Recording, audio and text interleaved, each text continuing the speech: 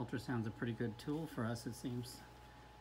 It has dogs tolerate it pretty well, and it's not painful. It's you can take a peek inside there and see a lot of things you can't see with X-ray. That's right. It's a little bit more sensitive to certain things than X-ray.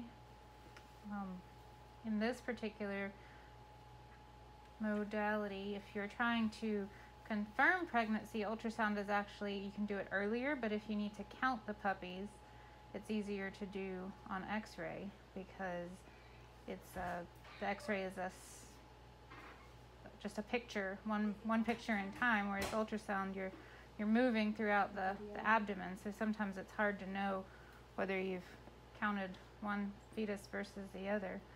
Um, but It's the like ultrasound is, is really You're good. shining that little flashlight into the abdomen Yep, and it's looking. exactly like what we're doing.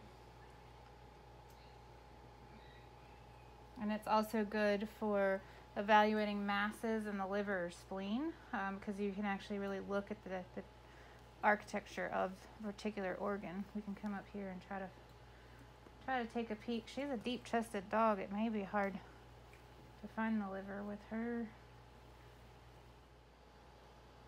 Oh, is that the heartbeat?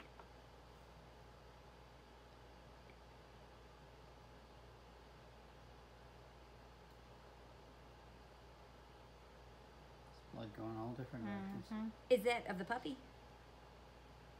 Yeah, that's blood in the puppy. It's not as the bl- the blue and the red are the, the different colors, whether it's going it. towards you or away from you. No.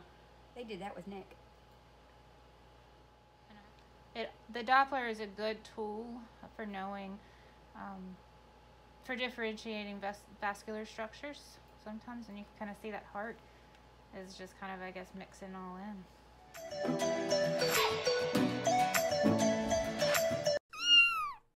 So um, it's very common.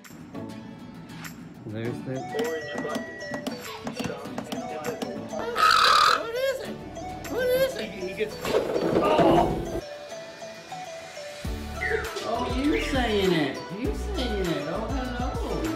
You are. Oh, Boozy.